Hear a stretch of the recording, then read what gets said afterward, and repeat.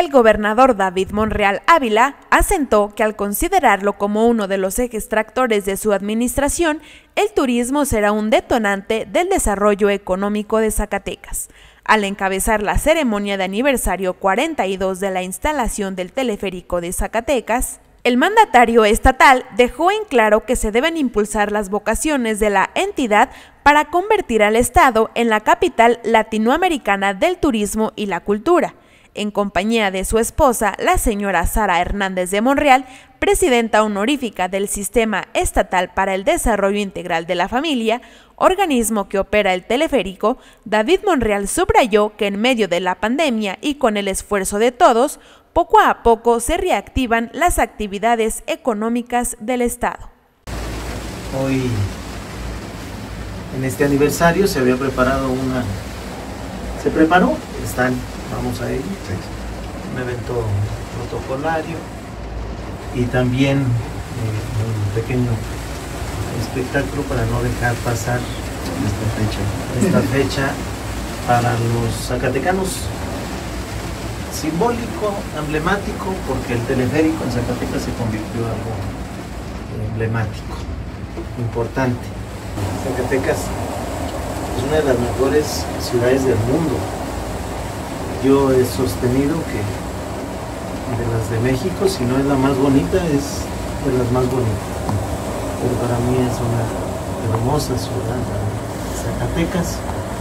El gobernador David Monreal y su esposa Sara Hernández encabezaron también la reapertura de los paseos nocturnos en este transporte aéreo con la idea de que este sea uno de los máximos atractivos para quienes desean observar la ciudad desde lo alto en el emblemático Cerro de la Bufa.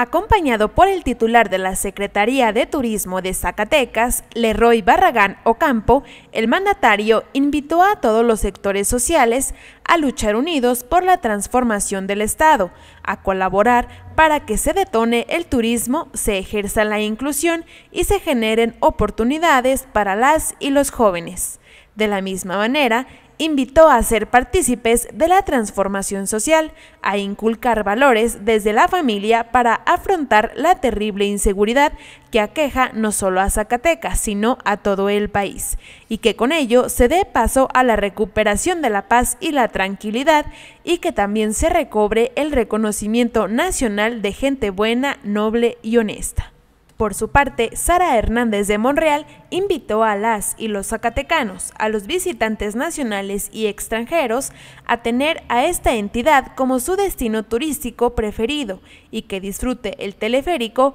al igual que toda la riqueza natural, cultural y arquitectónica del Estado describió a ese transporte aéreo como el más moderno del país, que cuenta con siete cabinas y un sistema de seguridad con más de 300 sensores, así como con controles automatizados que garanticen su correcto y óptimo funcionamiento. En este evento también estuvieron presentes Arturo Nale García, magistrado presidente del Tribunal Superior de Justicia del Estado, Susana Barragán Espinosa, diputada presidenta de la mesa directiva del Congreso del Estado, el general de brigada diplomado de Estado Mayor, José Luis Vázquez Araiza, comandante de la 11